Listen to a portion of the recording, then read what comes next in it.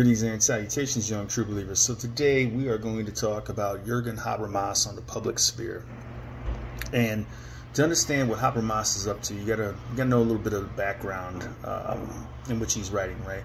So Habermas is arguably the world's most famous living philosopher. He's still alive. He's he's you know 90 years young and still going. Um, Heidegger grew up in post World War One Germany. Um, he was born in 29, and of course he was you know only 10 when World War II broke out, and he saw you know obviously firsthand the destruction that uh, World War II brought on Germany, right?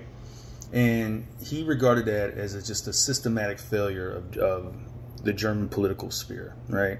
Um, so he's a young philosophy student, and the most uh, most famous philosopher in Germany in the 50s. He's a, you know he's a young man at the university. He's writing his dissertation.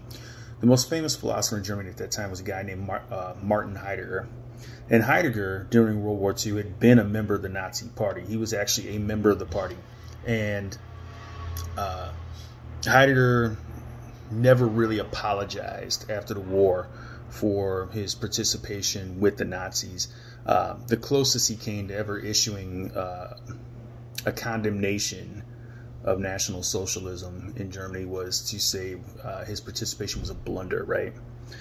So, uh, Habermas is concerned by this, and, and he writes a letter. You know, again, he's a young doctoral student in philosophy. He writes a letter to, Habermas, uh, to, to Heidegger, and he asks Heidegger to um, to explain his participation with National Socialism. Why were you um, why were you involved with the Nazis? You're, you're the leading intellectual figure in Germany at this time, right? Um, and Heidegger just brushed him off. He didn't say anything, just complete dead silence, right? So that confirmed Habermas's view, his conviction that the German philosophical tradition dating back to the uh, the early 18th century had had failed, right? Um, it, it didn't provide German intellectuals with the resources they needed to understand and then criticize National Socialism. So this got uh, young Habermas interested in what he calls, again, the public sphere. And in our readings, this is page, um, this is actually the very first sentence of the article, right? Page 143. Habermas defines the public sphere as, first of all, a domain of our social life in which such a thing as public opinion can be formed. And he notes that access to the public sphere is open in principle to all citizens. A portion of the public sphere is constituted in every conversation in which private persons come together to form a public. So this is significant. Why is it significant? Well, you can see a lot of what, or you can understand, I suppose I should say, a lot of what's going on in uh, Western philosophy uh, for the past 500 10, 520 years as a reaction to what happened in the Middle Ages, right? Uh, much of what's happened in the past 500 plus years has been a, a rejection of everything that, that came about in the Middle Ages. Okay, well, what was so characteristic about the Middle Ages? Authoritarianism. Authoritarianism in politics, authoritarianism in religion, authoritarianism with respect to learning and academia and science, right? Um, what changed all this? Well, Habermas points out in the 18th century in France and Germany, uh, a lot of places on the continent of Europe, but especially France and Germany, um, you had what were known as salons. Now, don't think you know, the modern American understanding of salon. A salon was originally just the living room of a big, you know, a big house, right, uh, where important people in society lived, right? They had they you always had a big drawing room where you would have guests. Well, what would happen is these guests would get together, and they were always the leading figures in the art world and, and in politics and in science and philosophy. And they get together and they would discuss the, they would discuss the issues of the day, right?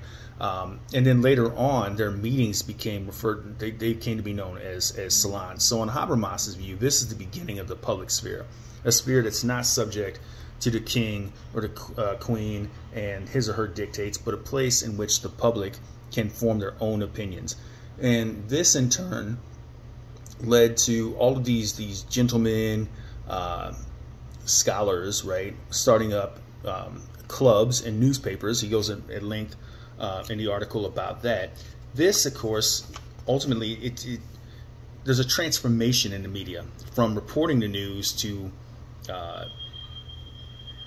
weighing in on matters, and then later perhaps dictating uh, or conveying opinions about what should or should not be the case in politics. That was significant, right? That's again another instance of the public uh, not just reacting to the news, but you know, making informing policy, right?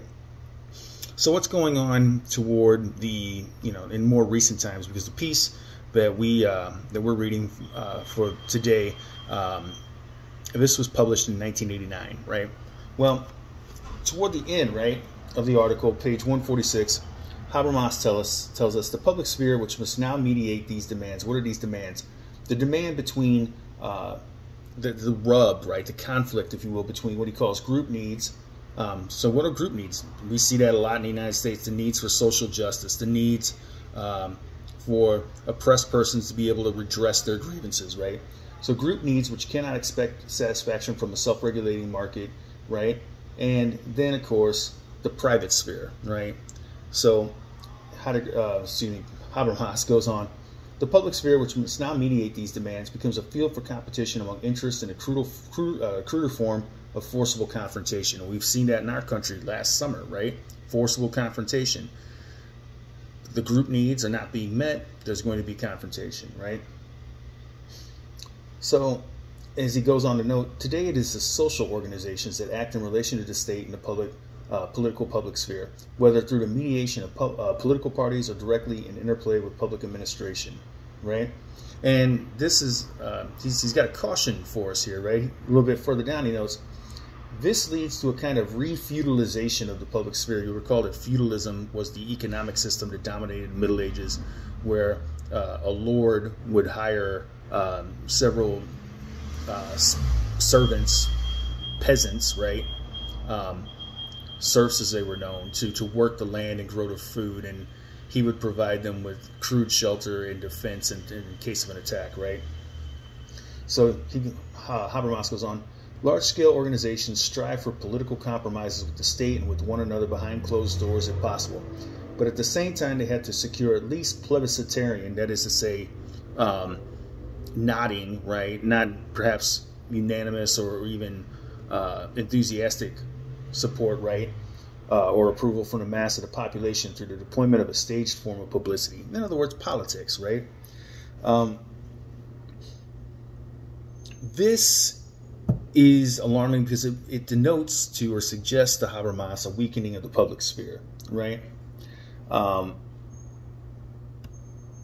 what's happening? Well, we see welfare states popping up, which are designed to deal with the crisis um, with of group needs. However, right, um, under current circumstances, right, um, only a a public of what he calls private persons, right, uh, could have, could participate effectively in a process of public communication using the channels of inter-party and inter-organizational public spheres on the basis of a publicness in force for the dealings of organizations with the state.